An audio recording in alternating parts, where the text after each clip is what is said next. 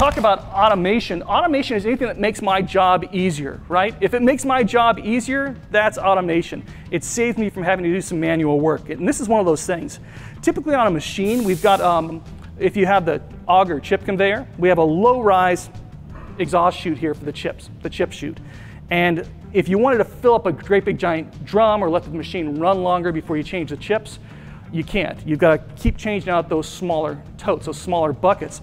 But this is a chip lift, which has uh, just been out here on the shop floor for a little bit. I see them running out in the machine shop. This will actually take the chips, push them up and out of the, out of the machine for you into a standard 55 gallon drum. So this is just one of those things that Haas has been thinking about a lot, and it's all part of automation. Because if you cannot turn your back on the machine, if you can't walk away, you'll never be able to get from a standard machine to a fully automated machine. And I'm not even sure that a fully automated machine is the sole answer, right? That might not be the goal for your shop, but that doesn't mean you shouldn't be automating um, as much as you can along the way.